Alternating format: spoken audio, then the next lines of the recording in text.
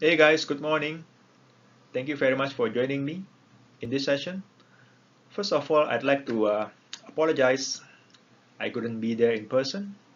Um, thank you very much uh, uh, to FOSSASIA for uh, still allowing this to happen through uh, recording. Okay, uh, without further ado, let's let's start. Just a little, little intro. My full name is Ricky Setyawan. I have been uh, doing uh, database and operations engineering for the past uh, 20 year plus. Um, I've been exposed to open source uh, since I started working in Oracle MySQL. That was 2012. And then uh, I never looked back ever since. Now, I also uh, a DevOps uh, consultant, having a lot of fun helping companies to transform uh, their culture into DevOps culture. Without further ado, let's uh, start with what is Kubernetes. Kubernetes was originally developed by Google uh, the its aim is only to manage distributed container instances across thousands of nodes or servers in Google.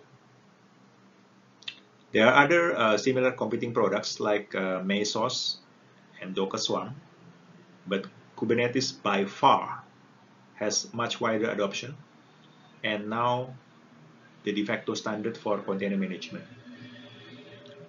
I'd like to quip a, a little excerpt from uh, Red Hat. So basically, according to Red Hat, Kubernetes helps you to easily and efficiently manage those clusters, containers clusters. Clusters can span hosts across public and private and hybrid clouds. For this reason, Kubernetes is an ideal platform for hosting cloud-native applications that require rapid scaling for instance like uh, real-time data streaming. Now before we go further, let's step back for a bit and take a look at what is the difference between container and VM. So VM, as you might already know and be and aware, that uh, each VM has its own operating system files. So um, each of them can have different operating system. You can have Linux, you can have uh, um, Windows, you can have FreeBSD, anything, right? It doesn't matter what the host operating system is, right? Now that means it has uh, it has a pretty good isolation. Now let's go to container. Container, on the other hand, is sharing the operating system with the host. It only encapsulates the processes and software it uh, supposed to run on the container itself. So all the OS files is shared across all the containers and the host. Why would anyone want to run application on containers? First is because it's much less bulky and require less resources compared to VM. It is faster to spawn, lightweight as well, because it doesn't need to have the OS files inside the container. All the OS files sitting on the host.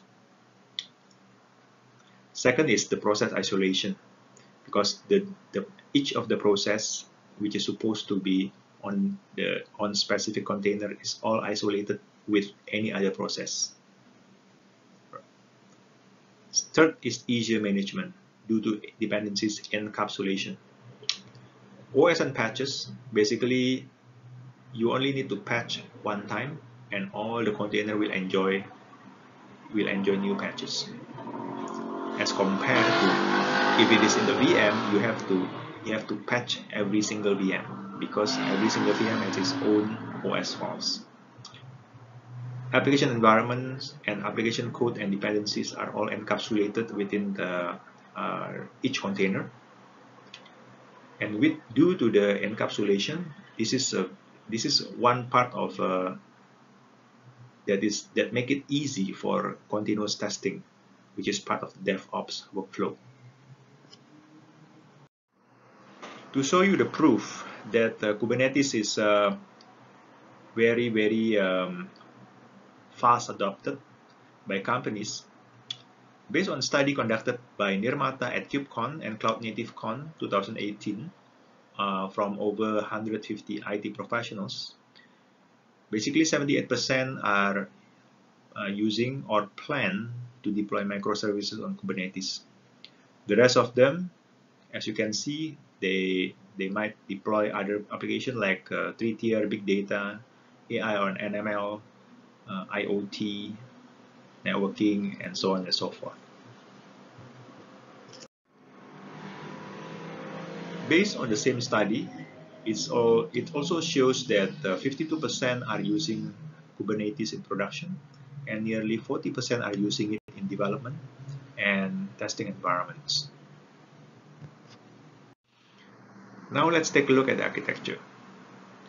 Every Kubernetes system always have a master node. This is where the Kubernetes software resides. And then you'll see uh, on top of it, you have a kubectl. This is the command line tool to send commands through the master through the master node uh, into the nodes. On the right hand side, you see nodes. Normally, a Kubernetes system consists more than just one node. It, com it uh, comprises of multiple nodes to form a cluster to have certain high availability. Inside each node, you will find a, a number of pods. Pods basically is a group of uh, containers. Each pod has its, their own network system and um, uh, and other resources and hosting as well. So all these containers within one pod will have to share all these resources uh, belong to the pod. Underneath is basically the Docker software. Now that we know about Kubernetes and its architecture, let's go into MySQL InnoDB cluster. As you know, MySQL is the most popular open source database in the world. It's widely used everywhere in any applications. Now, MySQL InnoDB cluster is uh, basically the HA solution, high availability solution, built on top of MySQL replication technology. It's comprised of three main components, which is MySQL group replication, which is uh, in this case, in this diagram, comprised of three nodes, three database nodes. You have on top of it, you have MySQL router, and on the on the right side, you have MySQL shell, which is the which is the tool to manage um, InnoDB cluster. Now the group replication um, comprised of three database nodes. One will become primary, the other two will become secondary. The primary is available for read-write, the two secondary available for read-only. And MySQL router will be the will be the one to manage failover. Anytime the primary is down, MySQL router will check and find out which one will become the new primary and it will redirect the traffic into the new primary node. Now, why we want to run databases on Kubernetes?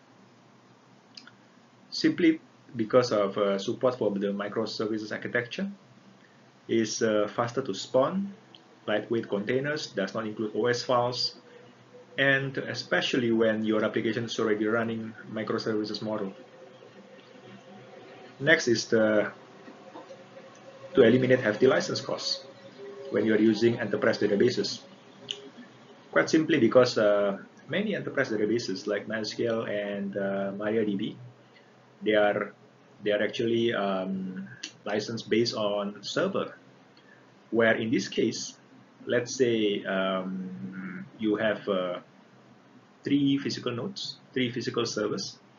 a powerful one and um, you can run let's say in maybe 30 40 database containers it's totally logical and it's actually pretty common these days last one is a good HA feature even though you are running only a single instant data of uh, MySQL so there is no cluster attached there only a single instance and Kubernetes will still handle the HA because Kubernetes will simply uh, spawn another container when the database container uh, failed. Now, to go further, why MySQL InnoDB cluster? Now, InnoDB clusters is um, offer you a higher level of availability than just a single instance. It is also affordable, as you know, because MySQL, MariaDB, and PostgreSQL, very, very affordable licensing. Uh, especially uh, MySQL and MariaDB is as uh, running, uh, uh, you know, um, license per base per server. Also, on the other hand, uh, it's very easy to scale the read because um, every InnoDB cluster by default you have three nodes and um, two of them is secondary which is available for read-only that means uh, you can actually load balance your read-only with uh, between these two uh, secondary nodes. Last one is multi-master node. Mode multi-master mode also available. And um, it actually perform very well when you configure properly with of course with some condition attached and do uh, do take note of uh, these uh, conditions before you decide to go for multi-master because um, this is very important and it can make or break your application. On with the challenges with databases on Kubernetes. Now, uh, first is I/O because by default database is um, commonly is I/O intensive. So um, there's a challenge to be able to decide which um, which um, storage are required.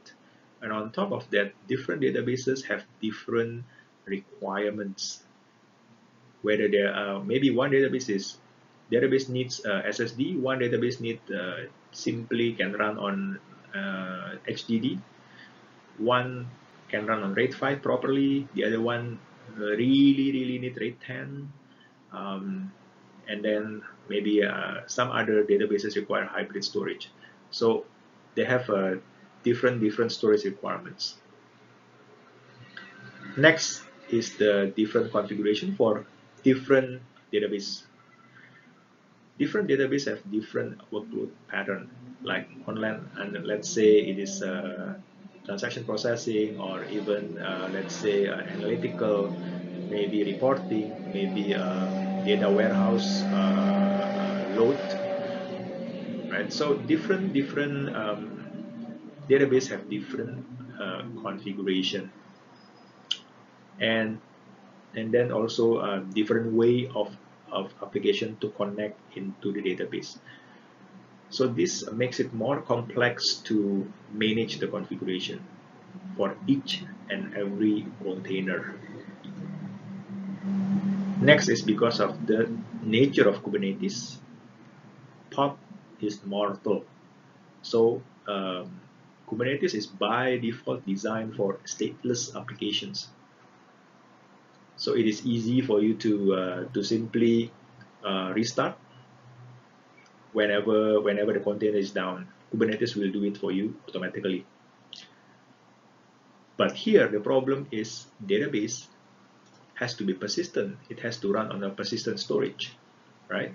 So so that is why uh, any database deployment on Kubernetes has to run on stateful sets.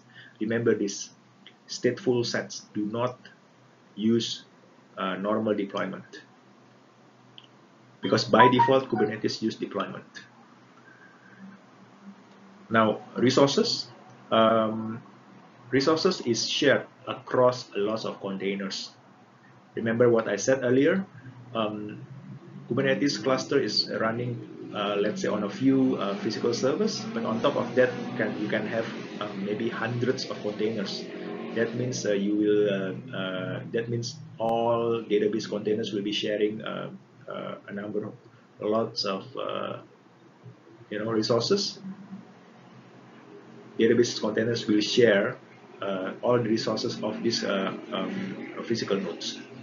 So resource management can be very, very complex. Security and audit policy compliance. Every, uh, every databases have different security and audit policy compliance. This make it hard as well. And the last one is, uh, of course, skill set of the people who manage it. So this is, um, at this moment, based on uh, my experience um, um, doing a number of uh, consultancy on certain companies, um, not many engineers actually have uh, a, a, proper skill set on Kubernetes because uh, Kubernetes itself is still um, considerably new, right? So um, yeah, so people need some time to to take up and be familiar with this technology. So yeah, that is uh, that is a pretty uh, pretty uh, good challenge there. Now that we know uh, about the challenges, how to overcome it, we have uh, first is we have to analyze the database environments. Anal analysis in the beginning is very important and uh, this will determine whether you will make it or you will break it in production. A couple of questions that we can ask ourselves before we decide uh, to move uh, the entire workload to Kubernetes is um, first whether it's already running on Docker containers. If it is already running on Docker containers, then uh, it is a no-brainer to simply move to Kubernetes. It makes it easier for you to manage. Now, if it is still monolithic, we need to ask ourselves, is it possible to turn it into microservices model? Now, also whether apps support splitting these databases into smaller, smaller chunks. Some certain apps does not support it. They simply uh, connect directly using one connections and they cannot be changed so no choice but certain um, uh, application especially the, the, the custom application they can uh, they can change it the, they can support uh, um, you know splitting the splitting the databases into uh, different uh, smaller databases Next is what benefits for the database to run on microservices versus monolithic. Don't get me wrong, running on monolithic, it's uh, not it's not a bad thing at all. It is not a bad thing. Do not fall into this um, this uh, notion where everything has to run on Kubernetes. No, no, and no. Something that is running on monolithic and runs fine that's it. Do not touch it. Um, you better you, it's actually better for you to focus on new application instead of changing whatever you already have and on monolithic and run very well. How much effort you require to transform to microservices model? This is something also you need to think about.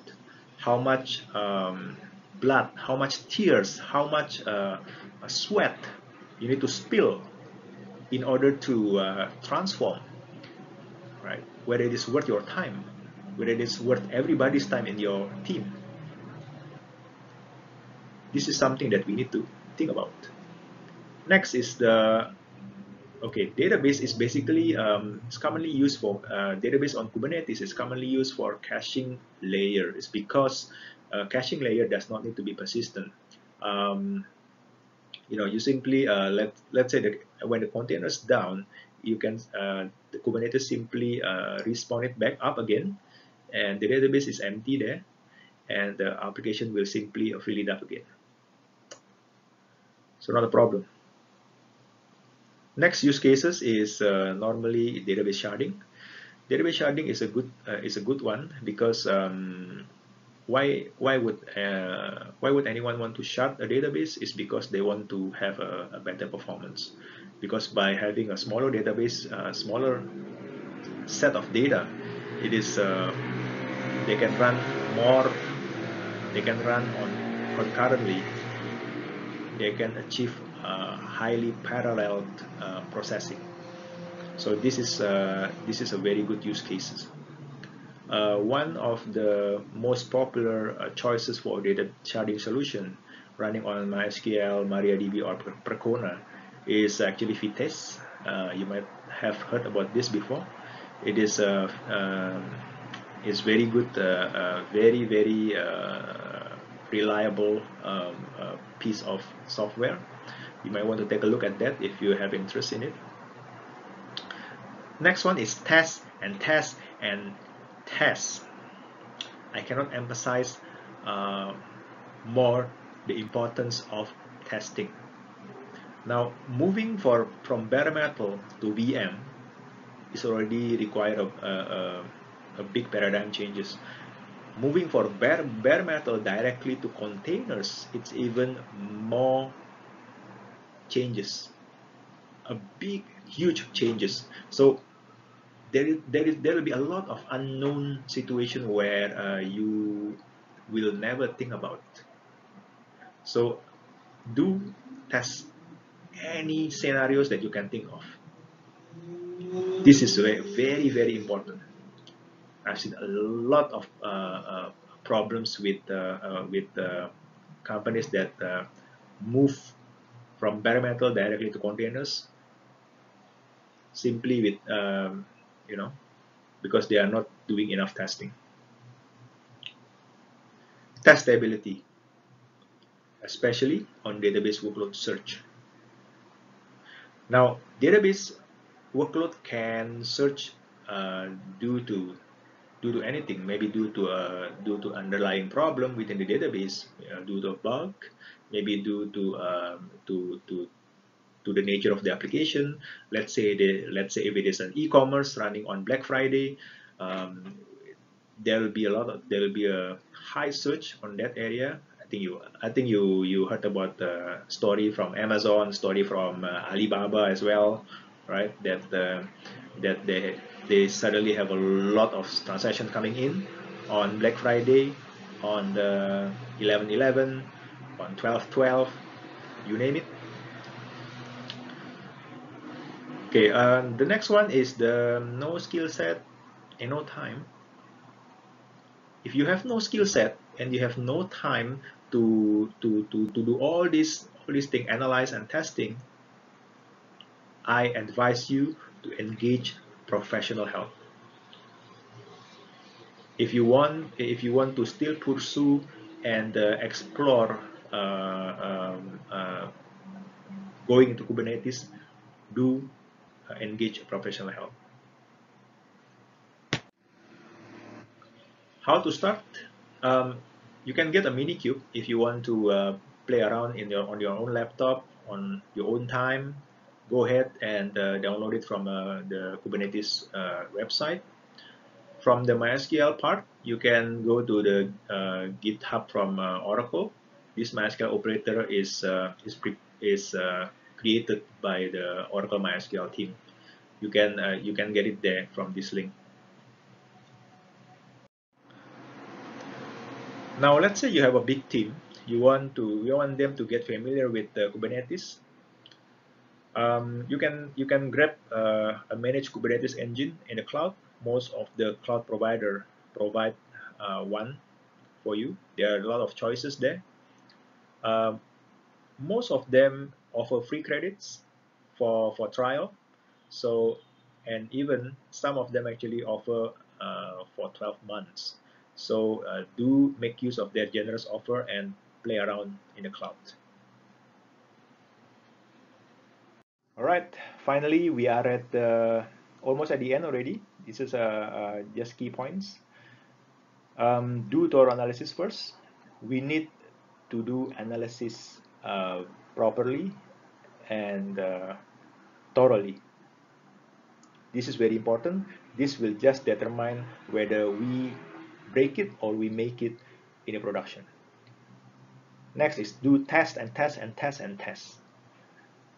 Test any single scenarios that that uh, we can think of, anything. Put it into uh, put it into the the system and test it, because anything can happen, especially on the workload search. Database workload can search at any time due to anything, like I said before. So um, and this will this can impact not just your database also other containers as well. Other containers might also have uh, other databases that is used by other applications right? So this is very important do test monolithic is not is not bad if you have application or database that's already in monolithic is, I mean it's running monolithic model at this moment leave it aside. If they are already running well, leave it aside. Do not touch it, hands off. Just concentrate on new applications. Leave it aside, okay? Do not touch it. Last but not least, find strong reasons to justify and get the top executive support. This is very important. You don't want, you don't want in the midst of your uh, journey to transform to Kubernetes, suddenly the management come down and and you know stop everything. You don't want this to happen. So do get the management support first before uh, embarking on the journey. The next few slides um, will uh, consist of uh, of all the steps for you to um, to set up a MySQL operator for Kubernetes. Uh, you can follow them. I believe uh, um, our friends from FOSSASIA will will put this uh, online, these slides online, so everyone can see it, everyone can download it, and uh, just follow the steps to uh, to get it up and running on your own system, or probably in the public cloud as well.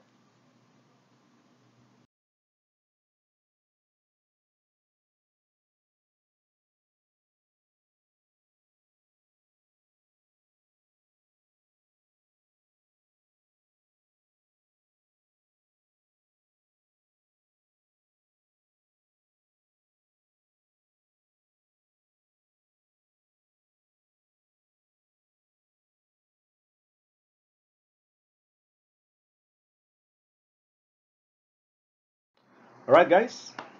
Um, th this is it. Um, thank you very much for uh, spending uh, about 28 minutes with me here. Uh, thank you uh, our friends from FOSSASIA to make this happen. Um, every anyone that wants to connect with me go ahead. This is uh, this is my contact. Um, let me know if you guys um, suddenly think about um, having coffee and you need some friend call me up. Uh, ring me and um, we have a coffee session while talking Kubernetes. Thank you very much. Thank you.